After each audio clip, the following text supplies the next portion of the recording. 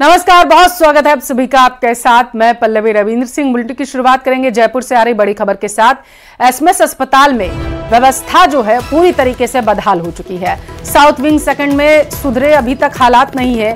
Doctors duty room में बताया जा रहा है कि पानी टपक रहा है। कल कमरे में शॉर्ट सर्किट हुआ था, जिसकी वजह से बताया जा रहा हड़कम मच गया था अस्पताल में। अव्यवस्थाओं का अंबार जो है वो लगा हुआ है, ऐसी जानकारी सामने निकलकर आ पा रही है एसएमएस हॉस्पिटल में। तो इस वक्त की बड़ी खबर, जयपुर से आप तक पहुँचा रहे जहाँ पर साउथ विंग सेकंड में अभी तक हालात जो है वो सुधरे नहीं है। कहीं प्लास्टर जो है वो उखड़ने लगा है तो कहीं छतों से पानी टपक रहा है, जिसकी वजह से मरीज़ तो परेशान होते ही हैं और इसके साथ साथ जो परिजन उनके वहाँ पहुँचे हैं, वो भी परेशान है। जानकारी ये सामने निकल कर आ पाई है कि कल ही शॉर्ट सर्किट हुआ था अस्पताल में और आज जो है पानी टपक रहा है। भारी बारिश की वजह से कई जगहों के हालात जो हैं, वो बदहाल हो चुके हैं और इन्हीं में अब जयपुर के इस बड़े अस्पताल का नाम भी जुड़ चुका है। एसमस अस्पताल जो है, वो खुद ही अब बीमार हो चुका है। जगह जगह पानी टपक रहा है अस्पताल में।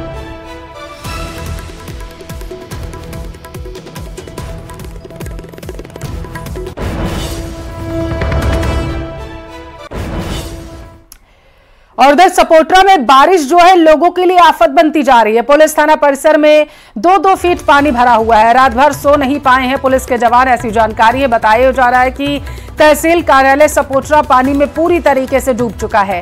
सरकारी राजस्व रिकॉर्ड पानी में डूबने से नष्ट होने के कगार पर पहुँच चुके हैं। इस वक्त की बड़ी खबर आपके टेलीविज़न स्क्रीन पर तहसील कार्यालय पानी पानी हो चुका है। बताया जा रहा है कि भवन जर्जर होने से बड़ा हादसा होने का अंदेशा भी लगातार बना हुआ है छत से टपकता पानी और गिरते प्लास्टर से बड़ा हादसा हो सकता है और इसके लिए लोगों को डर भी सताने लगा। तहसीलदार नवल किशोर शर्मा ने उच्च अधिकारियों को इससे अवगत करवा दिया है। निचले इलाकों के घरों में पानी भरने से लोग परेशान हो रहे हैं। झमाझम बारिश से शहर की सड़कें लबालब हैं।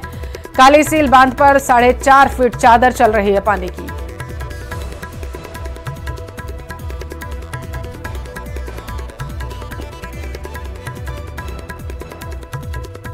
और उधर सीएस सुधांश पंत के निर्देश पर प्रशासन पूरी तरीके से हाई अलर्ट पर आ चुका है। जल भराव के कारण कई जिलों में जनजीवन पूरी तरीके से अस्त व्यस्त है। गंगापुर, करौली, हिंडौन में पेयजल आपूर्ति ठप हो चुकी है। कई पंप हाउस बारिश के कारण जलमग्न हो चुके हैं। गंगापुर में एक दर्जन से ज़्यादा ट्यूबवेल जलमग्न है और वहीं करौली सहित कई शहरों की पेयजल सप्लाई भी अब जो है बह चुकी है। पेयजल आपूर्ति बाधित होने पर जलदाय प्रशासन सतर्क हो चला है। हालाँकि ताकि लोगों को कम से कम पीने का पानी स्वच्छ जो है, वो मिल सके और यही वजह है कि सतर्क हो चुका है। पेयजल आपूर्ति बाधित ना हो, इसके लिए जलदाय प्रशासन, लेकिन लोगों को परेशानी इस बीच ज़रूर झेलनी पड़ रही है। बारिश पर बताया जा रहा है, सीएस सुधाश पंत के निर्देश पर प्रशासन हाई अलर्ट हो चुका है। व्यवस्थाओं को दुरुस्त करने की कोशिश की जा रही है। भारी बारिश की वजह से अव्यवस्थाओं का अंबार है।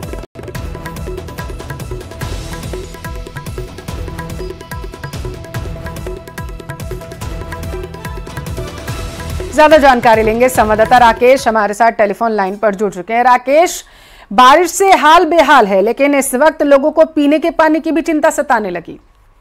बिल्कुल देखिए, जिस तरीके की जो पूर्वी राजस्थान में अतिवृष्टि के कारण जनजीवन अस्त हुआ है, इससे पेयजल आपूर्ति लगभग कई शहरों में ठप हो चुकी है। उसके बाद पीएचडी शासन सचिव डॉक्टर समीर शर्मा लगातार जो अधिकारी हैं, स्थानीय अधिकारी हैं, उनसे उन्होंने फीडबैक भी लिया है।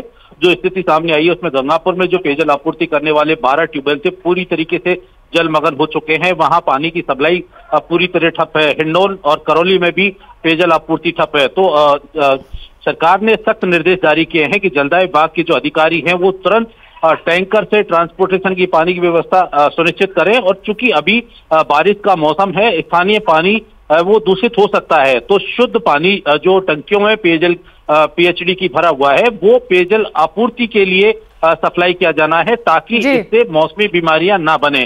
साथ ही जो जयपुर से भी जलदाय विभाग के अतिरिक्त मुख्य अभियंता मुख्य अभियंता स्तर के अधिकारियों को रवाना किया गया है ताकि वहाँ पूरी व्यवस्थाओं को वो दुरुस्त रखें जिससे जनजीवन पर जो ये अतिवृष्टि हो रही है जो पानी में वहाँ सप्लाई प्रभावित हो रही है वो किसी तरीके से उनको दुरुस्त कराया जा सके यही वजह की प्रशासन अलर्ट है। बहुत शुक्रिया राकेश जानकारी पहुँचाने के लिए। उधर अलवर शहर में विवाहिता बीना जाटव ने घर में फांसी का फंदा लगाकर अपनी जान दे दी है। पीहर पक्ष ने दहेज हत्या का मामला दर्ज करवाया। दूसरी तरफ़ पुलिस ने मृतका का पोस्टमार्टम करवाकर शव परिजनों को दे दिया। दादरगांव निवासी बीना जाटव और पति शेर सिंह के बीच कहा सुनी हो गई थी और इसके बाद पत्नी ने बताया जा रहा है कमरे में फांसी का फंदा लगा लिया।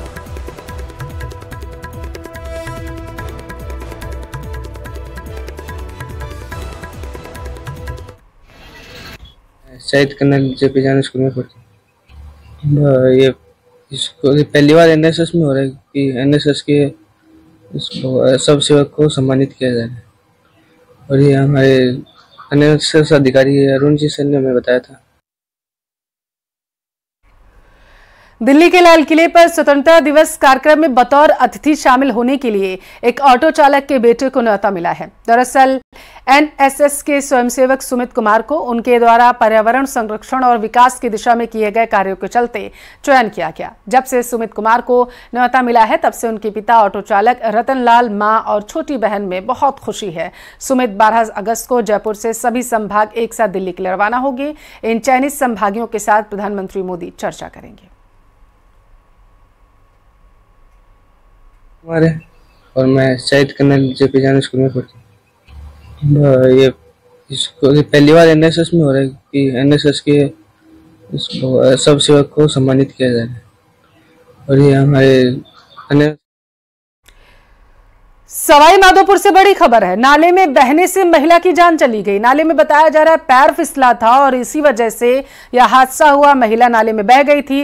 पुलिस ने शव कब्जे में ले लिया है और उसके बाद मोर्ची में रखवाया गया। पोस्टमार्टम किया जाएगा और उसके बाद परिजनों को सौंप दिया जाएगा शव। तो बड़ी खबर सवाई माधोपुर से आपकी टेलीविज़न स्क्रीन पर, जहाँ पर नाले में पैर फिसल गया एक महिला का, जिसकी वजह से महिला बह गई और महिला की मृत्यु हो चुकी है। पुलिस ने शव को कब्जे में ले लिया है।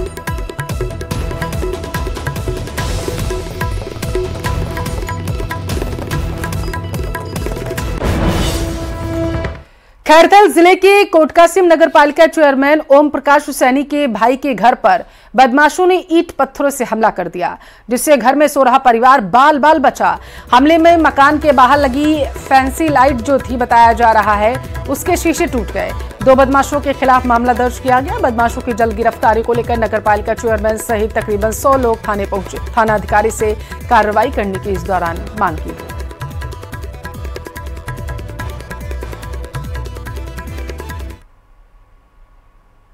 परिवार सो रहा था। कुछ पड़ोसियों ने, एक तो सचिन है, एक एक शशि है। इन्होंने तो और एक और है रामजी लाल इन्होंने मिलकर तीन चारों ने मिलकर पथराव किया घर पे। दूसरे बांटे मारे हैं गाड़ी उतार की है तो तोड़ फोड़ की है, फिर फरार हो गई ये 10-15 दिन पहले इनके कुछ ज़मीनी विवाद को लेकर झगड़ा हो गया था, आपस में मारपीट हो गई थी, जिसके संबंध में हमने हमने अभियोग पंजीबद्ध किया जाकर, जिन्होंने बदमाशी की, उनके खिलाफ शांति भंग के आरोप में भी गिरफ़्तार किया था उनको। और उनके खिलाफ विधिक कार्रवाई करके चालान न्यायालय में सबमिट किया है। कोटपुतली ज़िले के बहरोड के जखराना में 5 अगस्त को टोल प्लाजा पर बदमाशों ने तोड़फोड़ कर लूट की वारदात को अंजाम दिया। पुलिस ने कार्रवाई करते हुए दो और बदमाशों को गिरफ़्तार किया। मामले में अब तक तीन बदमाश गिरफ़्तार हो चुके हैं, साथ ही एक नाबालिग को भी पुलिस ने निरुद्ध कर लिया है।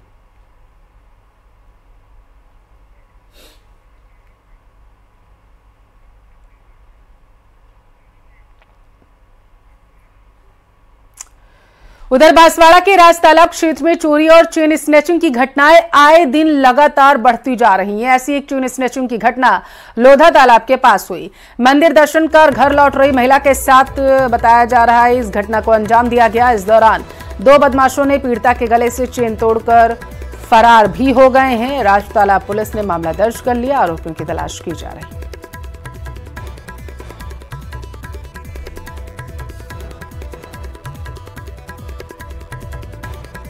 सर है। मेरा उद्देश्य हमारे से दर्शन करके मेरे भाई लोधा में रहता उसके घर जाए थे। सामने से दो अज्ञात व्यक्ति आए और मेरे गले से चेन खींच के ले गए। करीब कितने तोले की चेन थी सवा तोले की चेन होगी मेरी और शायद। तो अभी आपने थाने में रिपोर्ट दे दी? हाँ मैंने थाने में रिपोर्ट दे दी।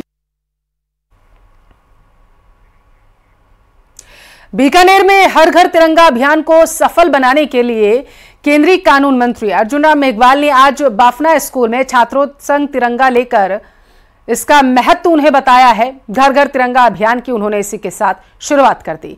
इस मौके पर यूआईटी के पूर्व अध्यक्ष महावीर रांका सीईओ पीएस वोहरा पवन महनोत सहित बड़ी संख्या में छात्र और स्टाफ मौजूद रहा। देश ने पिछहत्तरवें वर्ष में, अपने आज़ादी के पिछहत्तर वर्ष में प्रवेश किया। तो आज़ादी का अमृत महोत्सव मनाया गया था और उसका जब समापन हुआ तो एक अभियान चला था, हर घर तिरंगा अभियान। और उसी श्रृंखला में अब पंद्रह अगस्त आ रहा है तो हम बारह तेरह चौदह, ये तीन दिन पूरे देश में, हर देशवासी से ये अपील करेंगे कि वो अपने घर पर तिरंगा फहराए। तो आज जो बापड़ा स्कूल में या गंगा शहर में कार्यक्रम हुआ उसमें जो स्टूडेंट हैं या पढ़ने वाले उनके हाथ में तिरंगा दिया गया। हमारे जो यूआईटी के पूर्व अध्यक्ष है महावीर रंका जी की ओर से और ये यहाँ स्कूल से अपने घर ले जाएँगे तिरंगा और अपने घर पे फहराएँगे। बापना स्कूल में लगभग तीन हज़ार से पैंतीस सौ बच्चों के बीच हर बच्चे को तिरंगा देके उस तिरंगा का महत्व बता के कि भाई तिरंगा झंडा आप अपने घर ले जाएँगे और घर पे लहराएँगे और तिरंगा का क्या महत्व है ये बच्चों को बताया गया। सवाई माधोपुर ज़िले में भारी बारिश की वजह से लगातार हालात बिगड़ते जा रहे हैं, जिसके चलते कई जगहों पर विकट हालात भी पैदा हो गए। ज़िले की नदियाँ, नाले तेज बहाव के साथ उफान पर आ चुके हैं। बांधों तालाबों में पानी की आवक ज़्यादा है। लगातार तेज हो रही बारिश लोगों के लिए परेशानी का सबब बनती जा रही। मूसलाधार बारी, बारिश का दौर लगातार जारी है। सवाई माधोपुर ज़िले में बीते 24 घंटों से लगातार तेज बरसात हो रही है। आप मेरे पीछे भी देख सकते हैं कि इस सीज़न में जो लगातार ये जो पिछले 48 घंटों से बारिश का दौर जो चल रहा है, उसमें पहली बार जो लटिया नाले का जो बहाव है, वो आप देख सकते हैं। लटिया जो नाला है, वो पूरी तरीके से विकराल रूप धारण करके बह रहा है। पूरी तरीके से जो नाला है, वो उफान पर है। इसके अलावा जो ज़िले की जो नदियाँ हैं, बनास है, चंबल है वो भी अपने लगातार एक बड़े बहाव के साथ में, यानी कि बड़े वेग के साथ में बह रही है। इसके अलावा जो सवाई माधोपुर ज़िले में बड़े जो झरने हैं, वो झरने विकराल रूप धारण करके बह रहे हैं। इसके अलावा मैं आपको ये भी बता दूँ कि सवाई माधोपुर जिला मुख्यालय पर जो झरने हैं, अमरेश्वर का झरना हो, सीता माता का झरना हो झोजेश्वर का झरना हो, वो लगातार बहुत ही विकराल रूप धारण करके बह रहा है। इसके अलावा जो लटिया नाला जो लगातार अपने भाव पर है आप जो की तस्वीर हम देख रहे हैं। लटिया नाला जो भाव पर है, उसमें जो निचले तबके के जो इलाके हैं, जहाँ पर बस्तियों में पानी भरने की जो सूचनाएँ हैं, वो भी लगातार मिल रही है। इसके अलावा कई गाँवों से जो संपर्क है, वो कट गया है। कई रपटों पर ज़बरदस्त तरीके से पानी आ रहा है तो उससे भी कई गाँवों का संपर्क कट गया है। शेरपुर खिलसीपुर की तरफ़ से जो रफ्ता जो चलता है, उसके ऊपर ज़बरदस्त तरीके से पानी चल रहा है तो उससे लगभग दो दर्जन से अधिक गाँव का संपर्क कट गया है। बनास नदी के अंदर जो लगातार पानी आ रहा है, उस पानी से भी लगभग तीन दर्जन गाँव का संपर्क लगातार कटा हुआ है और मूसलाधार भारी बारिश का जो दौर है, वो सवाई माधोपुर ज़िले में अनवरत जारी है। गिरिराज शर्मा, न्यूज़ एटीन सवाई माधोपुर सावन का चौथा सोमवार है और शिवालयों में बम बम भोले के जयकारे गूंज रहे हैं। इस खास मौके पर आपको भी हम करवाते हैं खास शिवालय के बूंदी ज़िले के केशवराय पाटन में मौजूद भगवान राज राजेश्वर के मंदिर के दर्शन, जो चंबल नदी के तट पर मौजूद है। यहाँ की महिमा अपरंपार है। दूर दराज से लोग भगवान राज राजेश्वर महादेव के दर्शन करने के लिए आते हैं। पूरे सावन अलग अलग तरह से भगवान का खास अभिषेक यहाँ पर होता है। सावन के सोमवार पर लोगों की इतनी भीड़ लगती है कि मानो मेला लगा हो यहाँ पर। तकरीबन 400 साल पुराना यह शिवालय है, जिसके साथ कई पौराणिक कथाएँ भी जुड़ी हुई हैं।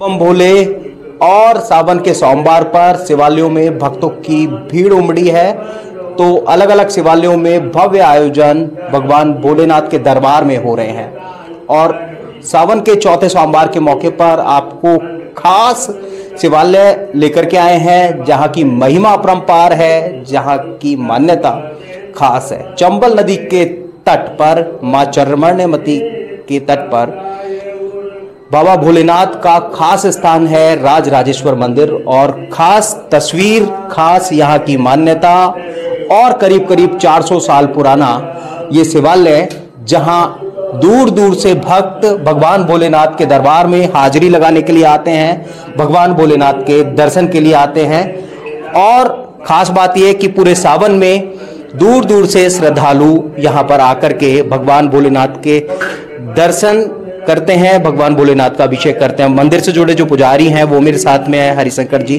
जो लंबे समय से सेवा पूजा कर रहे हैं। पंडित जी, कितनी बड़ी महिमा है भगवान भोलेनाथ, राज राजेश्वर। अब ये तो क्या, ये अच्छी महिमा है। दूर दराज से बहुत से लोग आते हैं यहाँ। क्या, सावन के महीने में आते हैं, इसमें आते हैं, शिवरा, महाशिवरात्रि पे। भीड़ लगी रहती है। श्रद्धालुओं से बात करेंगे, जो कि यहाँ पर निरंतर भगवान भोलेनाथ के दरबार में हाजिरी लगाते हैं। कितनी बड़ी मान्यता है भगवान भोलेनाथ राजराजेश्वर की? भगवान राजेश्वर, काफ़ी पुराना शिव मंदिर है। यहाँ पर मैं नियमित रूप से सावन के महीने में आता हूँ। डेली भी आता हूँ सावन के महीने में यहाँ पर चौबीस घंटे की रामायण चलती है। पूरे सावन के महीने चलती है और केशवराय पाटन के और आसपास के कोटा, आसपास के क्षेत्र के सभी लोग पर दर्शन करने के लिए आते हैं और भगवान की जो मूर्ति है, जो श्रृंगार है, अपने आप में इन सब में नौ देवियाँ बनी हुई हैं इसके अंदर, नाग देवता बने हुए हैं इसके अंदर। ये अद्भुत मूर्ति है, अद्भुत भगवान का श्रृंगार होता है। तो सावन का महीना अद्भुत ये प्रतिमा है। नौ देवियाँ इस शिवलिंग पर है। इसके साथ में खास इसकी मान्यता और पूरे सावन के महीने में भगवान भोलेनाथ के इस दरबार में लोग दूर से खींचे चले आते हैं।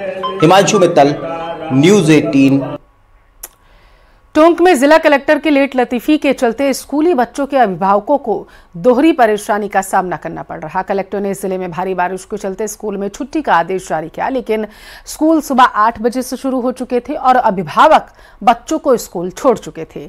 लेकिन सुबह तकरीबन साढ़े नौ बजे जिला कलेक्टर ने स्कूलों में छुट्टी का आदेश जारी कर दिया और स्कूलों में छुट्टी हो गई। इस पर अभिभावकों को फिर से स्कूल तक परेड करनी पड़ी।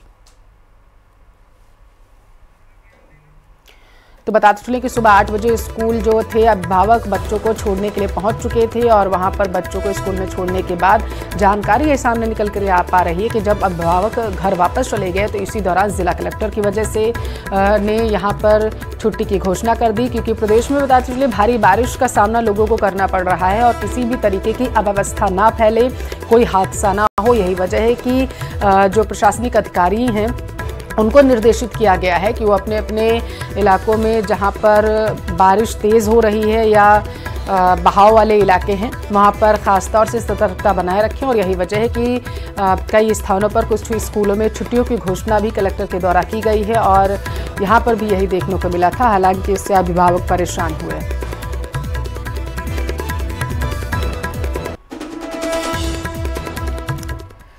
जयपुर में सड़कों पर जलभराव का जायजा लिया है हमारी संवाददाता महिमा जैन ने। देखिए हम बारिश का दौर जारी है। इस वक्त टॉक फाटक पुलिया के पास में मौजूद हूँ। जहाँ तस्वीरों के ज़रिए मैं आपको दिखाऊँगी कि बारिश से सड़कों के क्या हालात है। आमजन कैसे परेशान हो रहे हैं और ट्रैफ़िक की व्यवस्था जो है, यहाँ पर हमें देखने को नहीं मिल रही है। ये तमाम तस्वीरें बयां कर रही है कि राजधानी में बारिश के चलते हालात बेहाल है। देखिए बाइक्स एक एक इंच सड़क पे पानी भर चुका है। हालाँकि अभी बारिश शुरू ही हुई है, लेकिन इस तेज बारिश से लोग परेशान बेहद नज़र आ रहे हैं। सड़कें जाम हो रही है अंडरपास फुल हो चुके हैं और नाले भी उफान पर नज़र आने लगे हैं। ऐसे में पूरे दिन भर अगर बारिश ऐसे ही जारी रहती है तो राजधानी में हालात बिगड़ सकते हैं। ऐसे में हमें प्रशासन भी चप्पे चप्पे पर मौजूद नज़र आ रहा है और आज रेड अलर्ट मौसम विभाग की ओर से जारी किया गया है। सभी स्कूल्स एंड कॉलेजेस जो है बंद कलेक्टर की ओर से छुट्टी घोषित कर दी गई है। ऐसे में राजधानी की ये तमाम तस्वीरें, झमाझम बारिश यहाँ पर होती हुई हमें नज़र आ रही है और पूरे दिन भर बारिश का दौर बताया जा रहा है कि ऐसे ही लगातार जारी रहेगा। अभी भी सड़कों पर एक एक इंच जो है बारिश का पानी जमा हो चुका है। ऐसे में ट्रैफ़िक को निकालने में बहुत जो है मुश्किलें देखी जा रही है। आप देख सकते हैं कि कैसे यहाँ चारों ओर पानी भर चुका है। कैमरामैन अविनाश के साथ महिमा जैन, न्यूज़ एटी हिंडनबर्ग की एक नई रिपोर्ट आई है। इस रिपोर्ट में सेबी के मौजूदा चेयरमैन माधवी, पुरी बुच और उनके पति धवल बुच पर वित्तीय अनियमितता का बड़ा आरोप लगाया गया। इस रिपोर्ट की वजह से राजनीतिक गलियारों में सियासी वार पलटवार तेज हो चला है।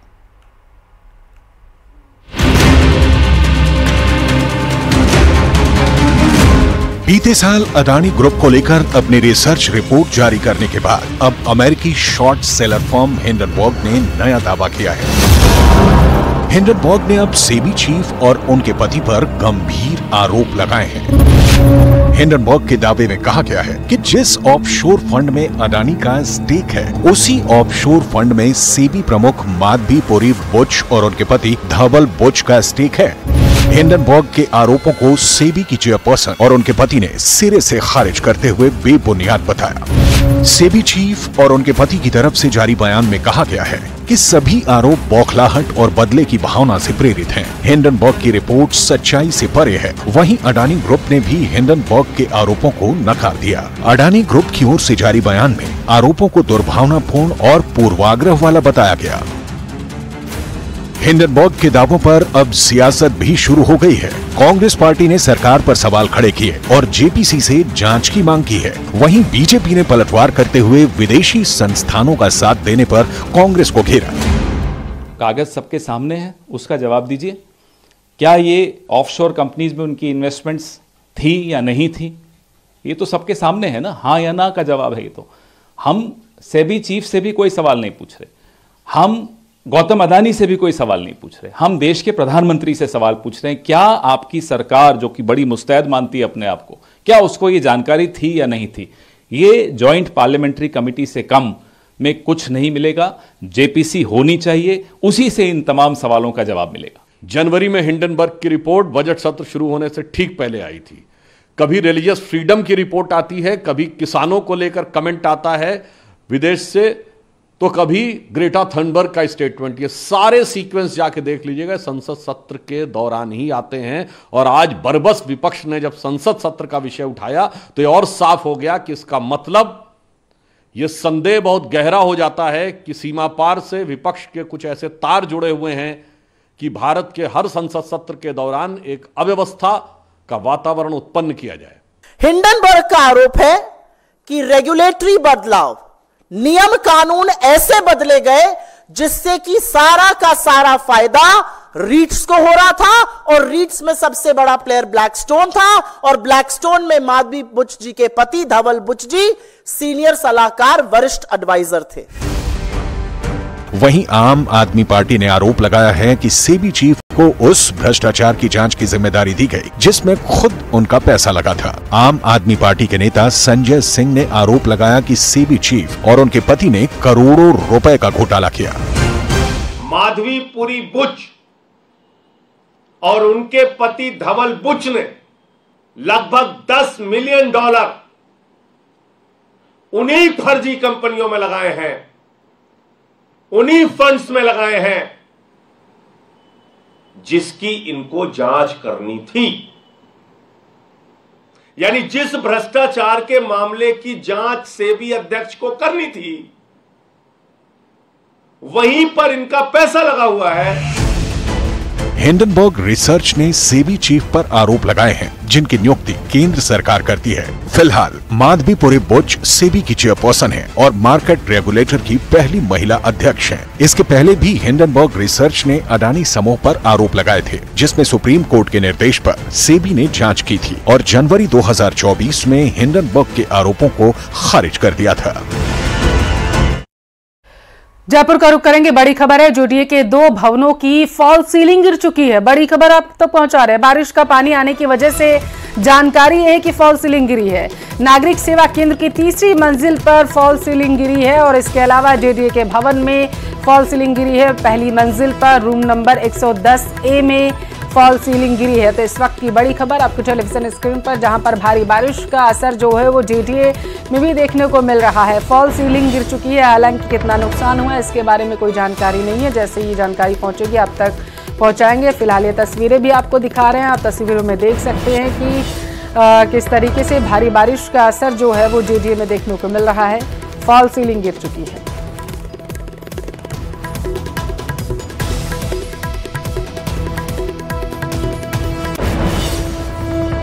यहाँ रुकेंगे एक छोटे से ब्रेक के लिए। आप देखते रहिए प्रदेश का number one news channel news eighteen Rajasthan.